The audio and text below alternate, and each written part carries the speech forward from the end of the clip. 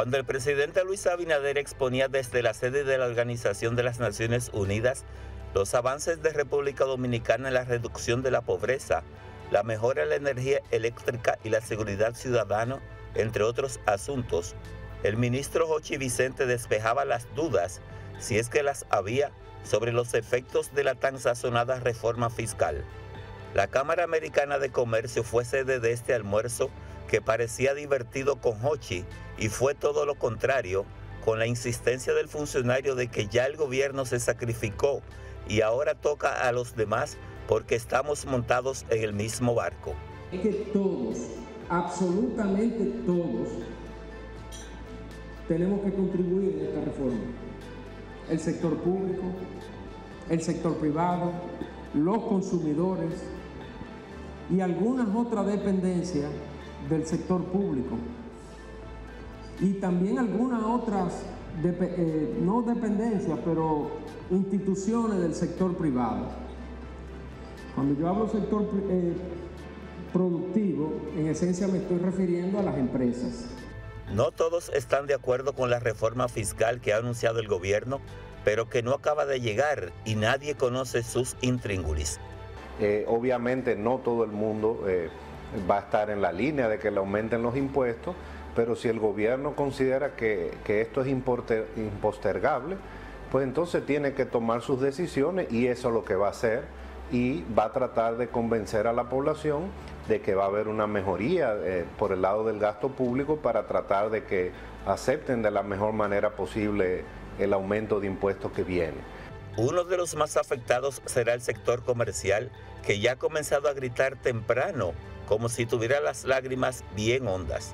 El gobierno que someta su proyecto de ley y nosotros, todos los sectores, tanto sociales, empresariales como sindicales, podamos ir directamente al Congreso, a las vistas públicas, a defender nuestras posiciones.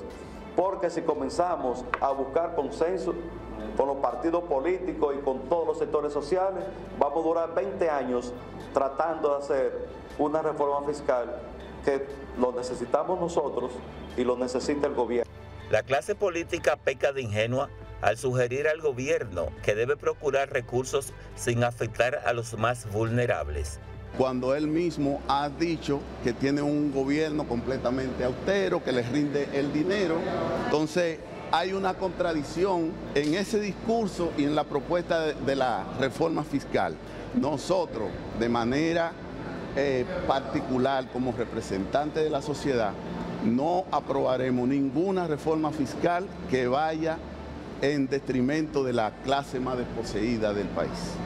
La gente paga gran cantidad de impuestos, estamos por encima de la media de América Latina y Centroamérica, pero el mismo no es redistribuido para necesariamente quien tiene que necesitar esa, esa cantidad de impuestos. Nosotros somos de los que entendemos que si se va a hacer una reforma fiscal, debe necesariamente generar las condiciones de impactar a los que más tienen para que paguen mayor cantidad de impuestos y generar las condiciones de disminuir esa cantidad de impuestos.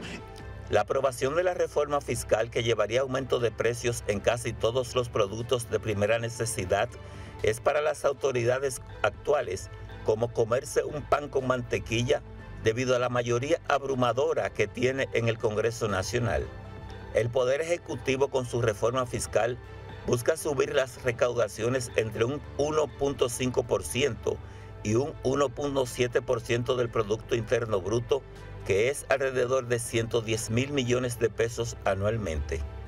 Economistas estiman que para lograrlo, el gobierno ejecutará medidas que simplifiquen el régimen tributario, amplíen la base impositiva y reduzca la informalidad. Para proceso, Nino Germán Pérez.